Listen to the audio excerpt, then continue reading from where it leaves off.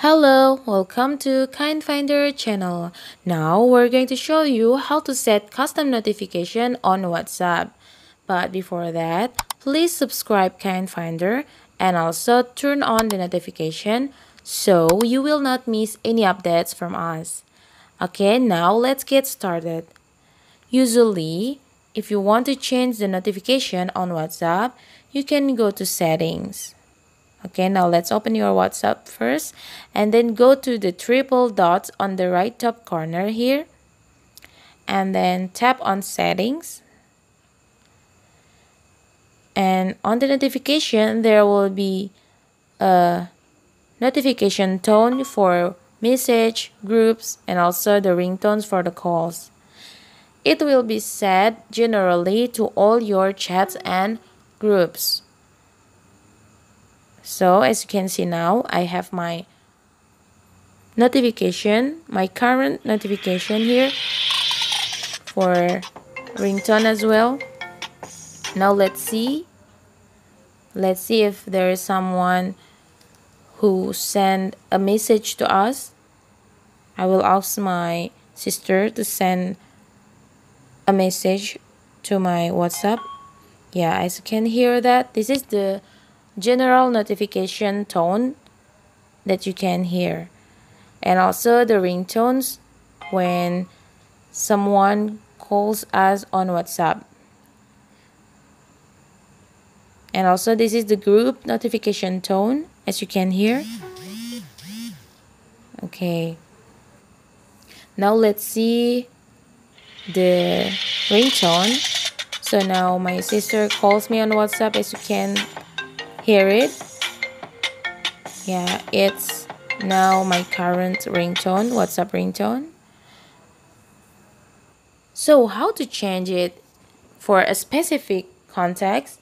Now let's go to a chat that you want to set the custom and then tap on custom notification and tick on it.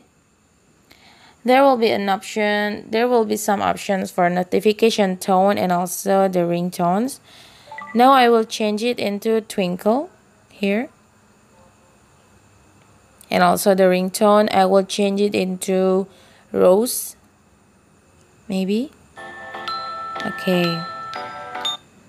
Let's see is it work or not. I will ask my sister to send me message and also calls me and also call me on WhatsApp.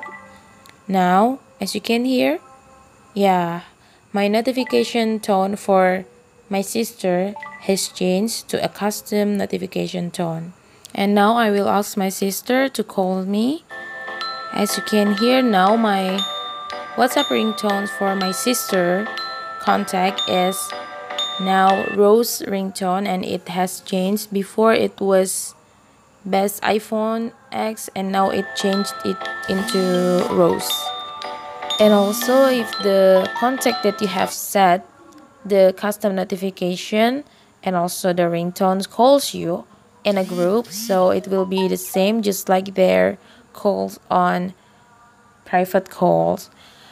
Now let's see how to set custom notification on a group. Now let's go to a group and then go to the group info here.